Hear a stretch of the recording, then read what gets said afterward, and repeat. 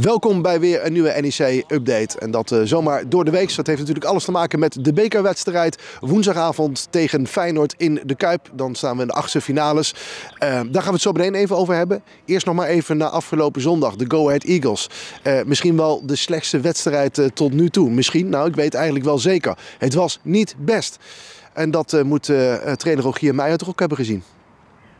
Nee, klopt. Dat was zeker geen, geen goede beurt van ons. En ja, snel vergeten, dat gaat niet zo makkelijk. Alleen ehm, we moeten morgen weer spelen. Dus uh, wat dat betreft is het wel prettig dat er snel een wedstrijd achteraan zit. Dan kunnen we ook weer uh, ons uh, daarop richten. Ja, heb je verklaring voor dat je eigenlijk eerst misschien wel je beste wedstrijd in anderhalf jaar speelt en dan misschien wel een van je slechtste? Ehm, nou ja, of dat de verklaring is, uh, weet ik niet. Maar er zijn wel een aantal dingen dat we gewoon niet goed hebben gedaan. En uh, ik vond met name ook gewoon de hele, de, hele mindset in de wedstrijd. vond dat we niet goed begonnen. Gaven uh, al heel snel een vrije trap weggelopen naar 15 seconden. Een cornerbal. speelden een aantal keren kort, terwijl we wisten dat we druk zouden zetten. Dus ja, gewoon denk ik de hele, ehm, de hele mindset hadden we niet goed voor elkaar in deze wedstrijd. En dan loop je de hele wedstrijd erachteraan.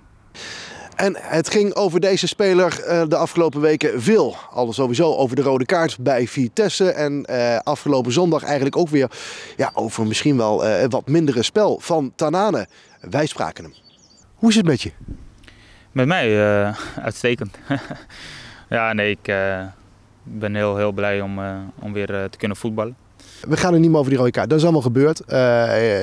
dat is hier ook volgens mij afgesloten helemaal. Ja, voor mijzelf ook. Ja, ik heb ik heb net ook tegen die anderen gezegd uh, dat zijn uh, oude koeien uit de sloot halen. Daar heb ik geen zin in. Ik, uh, ik heb, iedereen heeft gezegd wat hij wil zeggen en daar wil ik het bij houden. Dan maar eens even naar afgelopen zondag. Dat was niet jullie beste potje. Nee, het, is, ja, het was niet het beste potje. Nee. Heb je zelf een idee waar het, waar, waar het aan heeft kunnen liggen? Ja, ik weet, ik weet het echt niet, maar we waren echt, uh, en dan uh, praat ik ook voor, over mezelf. De eerste helft was voor mij echt uh, even wennen. Want, ik heb Je was echt aan het zoeken op het veld, zag ik. Ja, ja het eerste was voor mij even wennen. Natuurlijk het tempo. En ik heb natuurlijk drie wedstrijden gemist. Ja, dat is van alle spelen naar, naar drie missen. Ja, dat is, is toch, het doet wel wat met, met je tempo van de wedstrijd. Te verzoeken wat het tempo is. En... Morgen NEC revanche halen in de Kuip. Heb je er zin in? Ja, 100% Het is altijd leuk om, uh, om in de Kuip te voetballen. Dus ik denk... ja, jij moest hem de vorige keer missen dus. Ja, jammer genoeg wel. Maar uh, ik denk uh, dat het voor mij, dat praat ik echt voor mezelf. Die, die jongens kennen jou, je hebt zoveel wedstrijden daar gespeeld. Dus ze willen je uit de tent lokken. En ja, dan doen ze alles om, om je uit de wedstrijd te halen. Maar ik weet beter en ik weet dat, wat daar allemaal gaande is. En natuurlijk is het ook wel fijn omdat je tegen Feyenoord speelt. Je speelt tegen een top, uh, top 3 club. Je zegt ik laat me niet meer uit de tent lokken, dus dat heb je geleerd de afgelopen tijd ook een beetje? Ja, kijk, weet je, ik ben een uh, emotionele jongen en dat is mijn uh, grootste valkuil. En, en, en, dat heb ik altijd wel gezegd. Ik ben gewoon heel emotioneel en ik hou van het spel. En, en ja, dan, dan is het, en ik haat, haat verliezen. Dus voor mij is dat het, het, ja, het grootste valkuil van mijzelf. Dus ah, ik, uh, ik, ik heb altijd gezegd van, uh, uh, ik laat me niet gek maken, maar ja, een keertje was het wel, ja. Ja, en dan gaat het hier natuurlijk over die wedstrijd van, van morgen tegen Feyenoord. En we kijken ook natuurlijk naar zaterdag. Maar er gebeuren eigenlijk vele belangrijke dingen in de wereld. Of verschrikkelijke dingen eigenlijk. Um, in Turkije en Syrië. Die verschrikkelijke aardbeving. Um, dus ik ik heb eventjes uh, gesproken met uh, Moeslo, de elftalleider van NEC. verschrikkelijk nieuws. En je hebt er ook bekende zitten. ja, inderdaad. Dan is het heel cliché, maar voetbal is een bijzaak.